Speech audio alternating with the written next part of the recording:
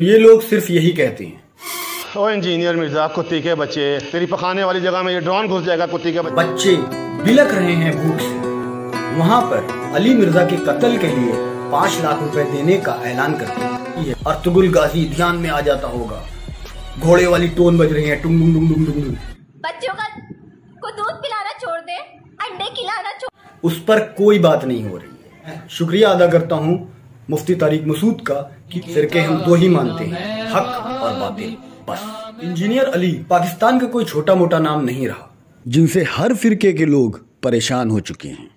और मौलवियों तुम लोग कान खोल के सुन लो। तुम लोग भी सुन लो तुम जो मर्ज़ी कर लो। मैंने पाकिस्तान नहीं छोड़ना। जब तक के तुम्हारे आखिरी फिरका प्रस कबर में नहीं चला जाता और मैं उसकी कबर पे यूँ विक्टी का निशान बना के नहीं खड़ा होता। जब अली भाई के इल्मी इख्तलाफ के जवाबात दलाइल के साथ लोग नहीं दे पाते। तो ये लोग सिर्फ़ यही कहते हैं। ओ इंजीनियर मिर्ज़ा कुत्ती के बच्चे तेरी पखाने वाली जगह में ये ड्रोन घुस जाएगा कुत्ती के बच्चे अगर तूने कुत्ती के बच्चे ने एक वक्त के ऊपर इंजीनियर मोहम्मद अली मिर्ज़ा कुत्ती के बच्चे ने इंजीनियर मोहम्मद अली मिर्ज़ा हराम का पिल्ला। यहाँ तक तो ठीक था लेकिन पीर अफजल कादरी ने एक ऐसा बयान दे दिया जिसने मेरे दिल और दिमाग को हिला कर रख दिया।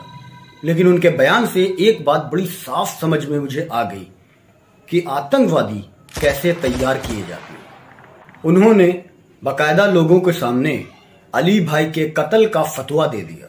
और यहाँ तक ये भी कहा यह फ़र्ज़ किफाया है।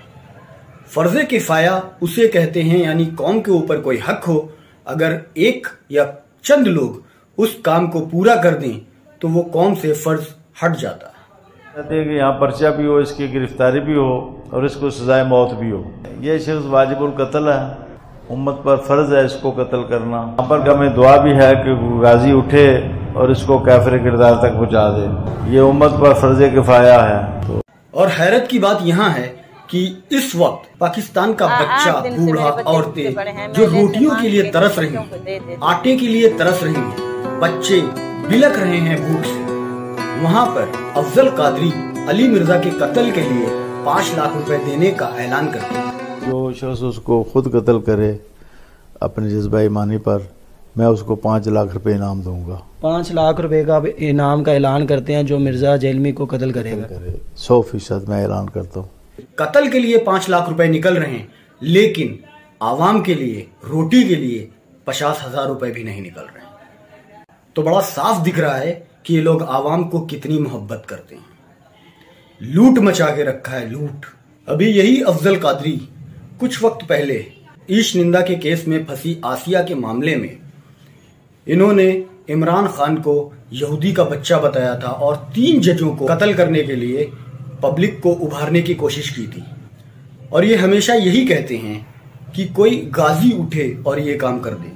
तुम्हारे हाथों में क्या है? इनकी सिक्योरिटी इनको कत्ल कर दे। अब जनरल बाजवा किसी सूरत में हमें काबिल कबूल नहीं है इतना ये फौज में इमरान खान ने साबित कर दिया कि ये यहूदी बच्चा है। इन तीनों जजों को कान से पकड़कर निकाला जाए। इसलिए कि आप अपने जजों के खिलाफ निकलना है। तो जजों पर फर्द जुर्म आयद कर रहा हूँ।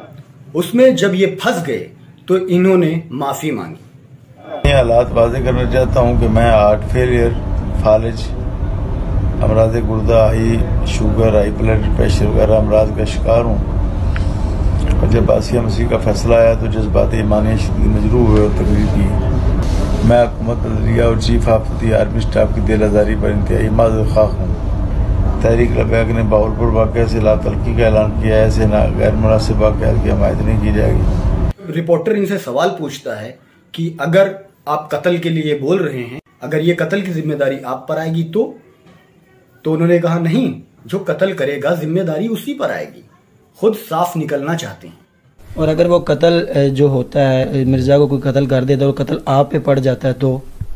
कत्ल तो जो है ना जिसने करना है ना जी वही उसका जिम्मेदार होगा और हम उसके हमायती होंगे इन ताला। और ये समझ आ गया कि किस तरह से आतंकवादी बनाए जाते हैं। ऐसे ही फ़र्ज़ किफाया हूरों के सपने दिखाकर गाजी गाजी कहकर लोगों को उकसाते हैं। और पब्लिक भी ऐसी है। अर्तुगुल गाजी ध्यान में आ जाता होगा। घोड़े वाली टोन बज रही है, टुंग डुंग डुंग डुंग और वो बन गए गाजी। तो यही गाजी पाजियों की तरह माफ़ी मांगते हैं, जैसे अफजल कादरी ने भी मांगी थी। लोग भूख से मर रहे हैं, फरियाद कर रहे हैं रोटी के लिए।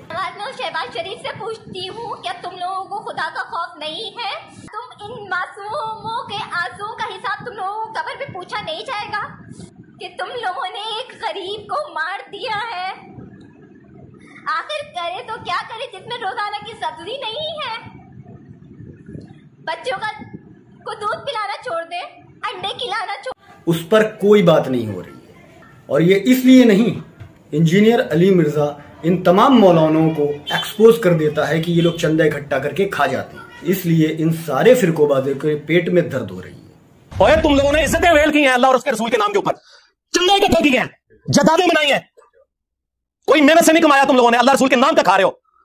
और बात ये करते हो कि हदीस में हम गुमराह हो जाएँगे। इज्जतें वेल की अल्लाह उसके रसूल के नाम के ऊपर।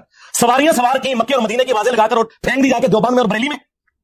गद्दार हो तुम रसूलुल्लाह के, सल्लल्लाहु बहुत साहबाओं से मोहब्बत है ना? हज़रत उमर, हज़रत अबू बकर अपना माल, पूरा पूरा घर का माल दे दिया करते थे। जब ऐसी कोई भुखमरी आती थी, तुम लोग एक एक करोड़ दो दो करोड़ की गाड़ियों से चलती हो, हज़ारों एकड़ के प्रॉपर्टी के मालिक हो, कभी बेचो? हमको बताया जाता है कि रसूलुल्लाह चटाई पर बैठते थे, तुम मर्सिडीज पर क्यों बैठते हो?